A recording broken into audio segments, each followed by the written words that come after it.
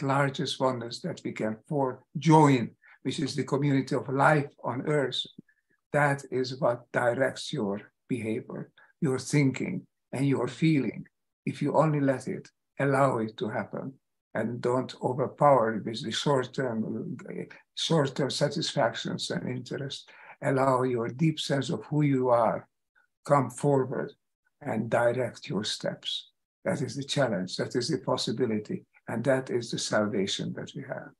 Mm, beautiful. And that's the invitation, folks. I don't think we can understate what has been done in, in terms of our conditioning and our programming by removing that very element that Ervin's talking about. When we forget that we are of love, that we are designed that way, that the creative design includes this beautiful dance of the energetics of